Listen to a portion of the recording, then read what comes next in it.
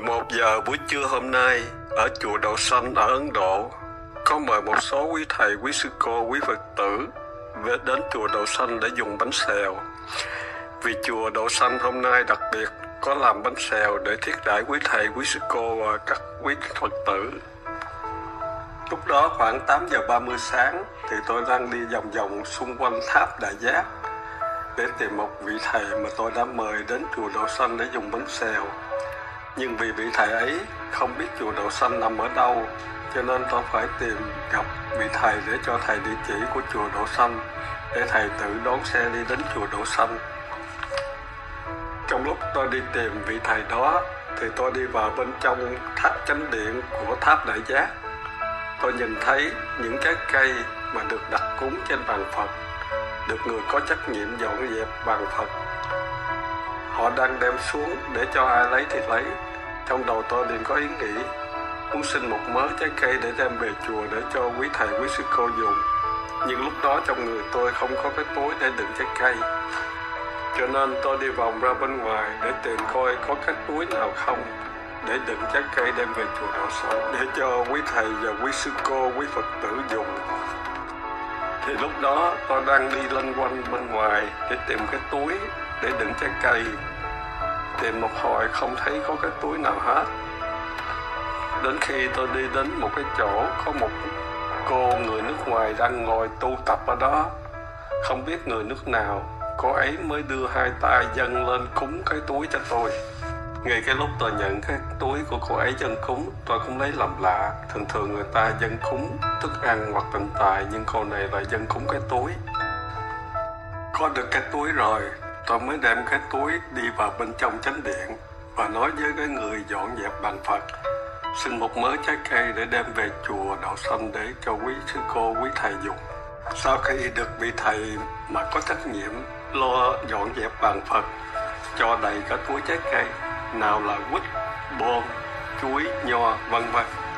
Thì tôi mới đem cái túi ờ, trái cây rời khỏi ờ, tháp ờ, Đại Giác để đi về chùa đậu Xanh.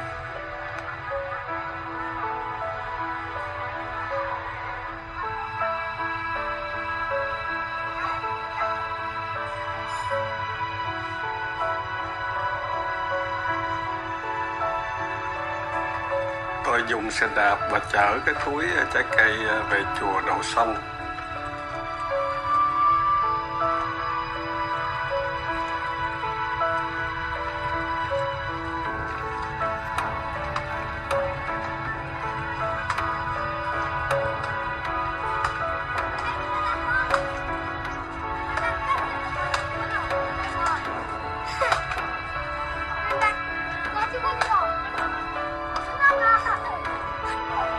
Tôi về đến chùa Đậu Xanh, lúc đó khoảng 9 giờ 30 sáng. Rồi tôi đem cái túi trái cây đi thẳng vào chùa, rồi đi lên thẳng trên chánh điện ở trên lầu 3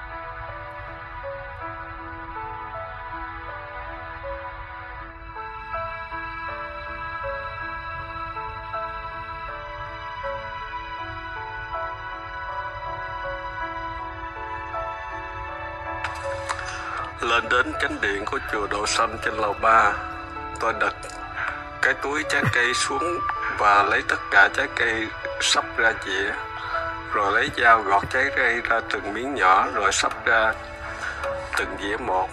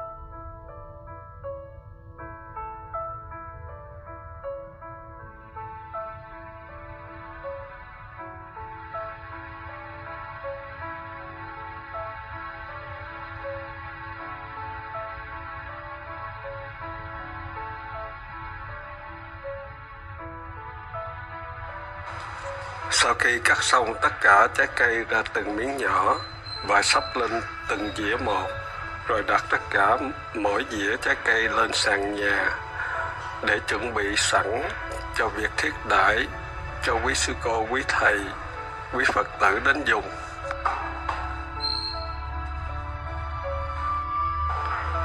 Sắp đến 11 giờ trưa, tất cả quý thầy, quý sư cô, quý Phật tử đã đến đầy đủ và tất cả mọi người có một buổi bánh xèo rất ngon miệng.